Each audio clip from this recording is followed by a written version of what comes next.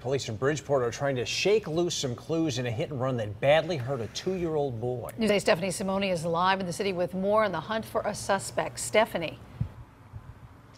And Darren, police spent an hour out here at the corner of Capitol and Main, passing out these flyers, stopping cars, trying to get any clue as to who the driver was that struck two-year-old Corey Gordon and left him. Very good. Thank you very much. Have you heard about it at all? Yeah, I got two. Oh, you, you got one over there. Great. Thousands of these have been handed out. So far, no leads. All while two-year-old Corey Gordon lays in a hospital bed. He's talking now. He can't walk yet. We're working on that now with therapy. Um, he's like a regular kid. It was three weeks ago today when Parmalee says she went to get Corey out of the car. He was holding her hand. She went back in to get his baby sister. The car struck him and took off. But if that happened to their child, I'm sure they would want somebody to step up. Police say they've checked surveillance video from area businesses. They can't find evidence of a car or a suspect.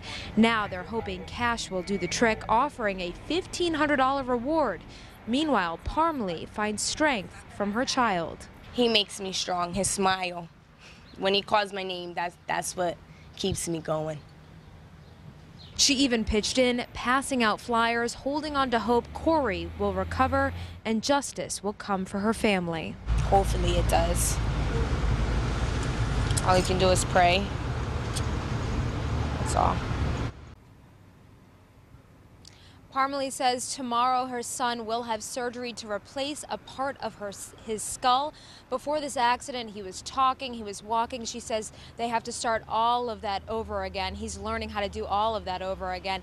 Police say if you have any information, you're asked to contact Bridgeport Police. Your tips can be anonymous. Live in Bridgeport tonight, Stephanie Simone, News 8.